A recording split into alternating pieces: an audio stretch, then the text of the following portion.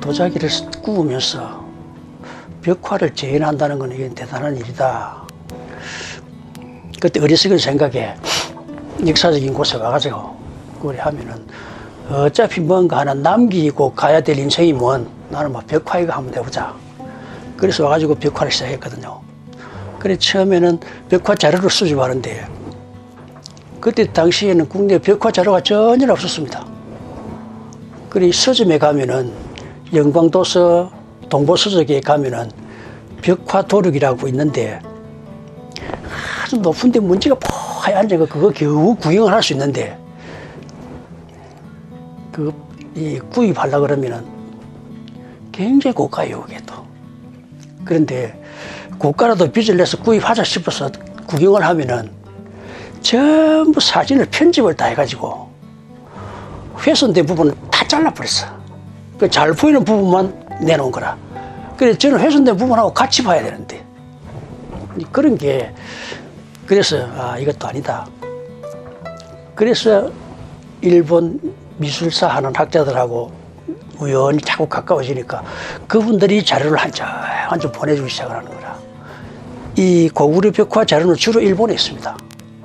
그리고 벽화가 현재 있는 북한 쪽 학자들이 이 일본 와가지고 인쇄를 해가거든. 그 일본의 자료가 자꾸 모일 수밖에 없어요. 그래서 그분이 이제 이렇게 자꾸 연결을 해주고 자료를 보내주고. 그런데 결정적인 거는 한국 교포인데 일본에서 그 강사를 하는 분이 한 분 계시는데 그분이 벽화 자료집을 도둑하고 몇 권을 7kg나 되는 걸 배를 타고 오면서 걸빵을 해갖고 메고 왔더라고. 참 그런 분들은 정말로 잊지 못하게 고마운 분이지. 그래 이제 자료를 쭉 수집하다 보니까 그 자료가 제법 이제 많이 모였어요.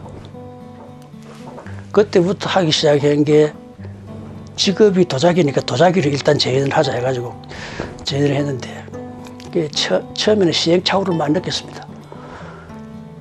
이 채색하면은 청해지고 흐린 날하고 맑은 또 초벌 과정에서 칠하면은 이 습도가 다르니까 초벌 과정이 흡수를 한다니까.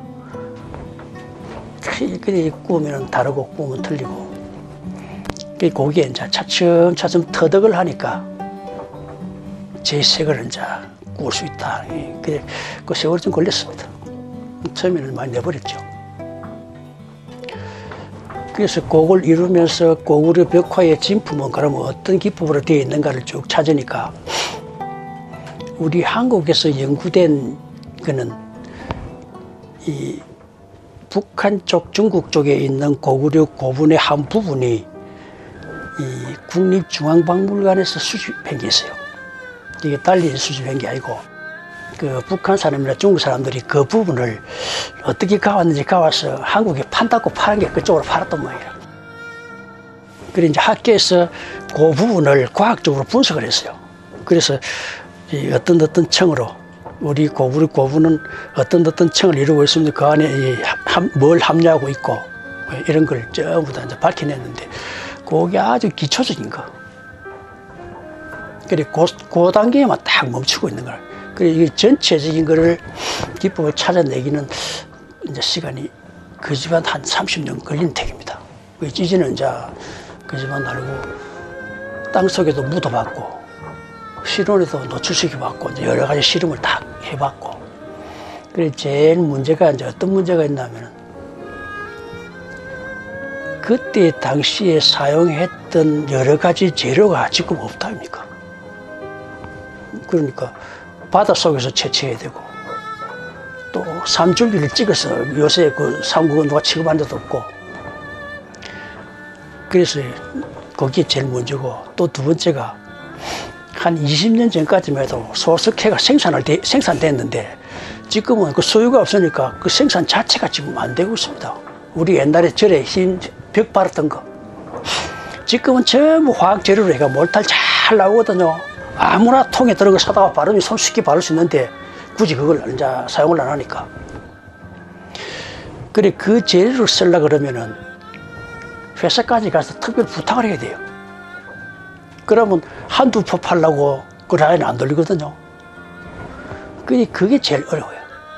그럼 옛날 벽화에는 안료에 뭘 첨가해서 그렸느냐? 그럼 주로 지금 학교에서는 예, 접착시키기 위해서 안료에 예, 악교를 첨가시켰다. 그래서 접착을 시켰다. 그것 때문에 내가 3년 고생을 했습니다. 악교를 해가 하니까 악교가 조금 진하면은 식으면 굳어버리잖아요. 그러면 그릴 수가 없어요. 그리고 이 자체가 또 연하면은 접착력이 없어요. 그런데 접착력이 없으니까 한 해가 지나고 나면은 접착력이 빨리 소진돼 버리고 그래서 여러 가지 실험을 해보니까 벽화 속의 접착제는 안료에 넣는 매개제는 악유를 쓰면 안 된다는 결론이 딱 나와요. 땅을 파가지고 이 돌, 돌곽을 만들고 그 속에 내가 재현한 벽화를 내갖고 1년 묵혀봤고 2년 묵혀봤고 그런 과정도 거쳐봤고 그럼 아주 경고합니다. 이상 없습니다. 네, 그런 과정. 그러니 거기에 이제 제일 중요한 게 돌판부터 마지막 처리까지 전체적인 벽, 이 벽 자체가 전청이 일체를 이루는 게 제일 중요하고 그 일체를 이루기 위해서는 어떤 어떤 어떤 물질이 서로가 이 결합이 잘 된다는 걸 찾아야 되고 그래 우리 고구려 벽화가 어찌 보면 좀 과학적이에요. 그 프레스코는 그냥 회가 완전히 건조되기 전에 축축할 때부터 그림을 그리니까 일체가 되죠. 그 밑에 42수나 뭐 이런 거 저런 게 전부 다 프레스코 기법으로 한 겁니다. 지난번에 본이 타일이고 동그란 것도 그것도 프레스코예요. 이 축축할 때 채색이 되기 때문에 일체가 되는 거라. 그 프레스코를 해가지고 1300대 구웠으니까 저건 완전히 깨는 거 아니고는 훼손이 안 됩니다. 그- 그런 식으로 전부 프레스코인데 우리 벽화는 전혀 프레스코가 아니라고 할 수 없는 게 벽을 안 바릅니까? 벽을 바르면은 마르기 전부터 그림을 그린다고 해요. 관계없어요. 그래가 이 그림을 그리다 보면은 하루아침에 그림 다 그리는 게 아니니까 뒷부분 말랐다니까 며칠 지나가고 나면 그래도 상관없이 그림을 그려요. 그래 프레스코하고 상관없는 벽화예요 우리가. 이게 동양 벽화인데. 그래 아직까지 학계에서는 고구려 벽화도 프레스코 벽화를 하는 쪽도 있고 고구려 벽화는 프레스코가 아닌 동아시아의 특수 기법이라는 층도 있고 거기서 지금 대립하고 있거든요. 그런데 제일 그 그게 이제 이야기를 제대로 하신 분이 예, 프레스코 동양벽화는 과학적으로 이렇게 이렇게 보니까 프레스코가 아니라 아니다 하는 아닌 것 같다 하는 그런 결론을 내놨거든. 근데 제 처음 이 불합격된 논문에는 고구려 벽화는 프레스코 범주에 넣으면 안 된다 하고 썼더만 대본에 불합격돼 버려요. 그래고 그 말을 빼붙잖아요 뒤에는.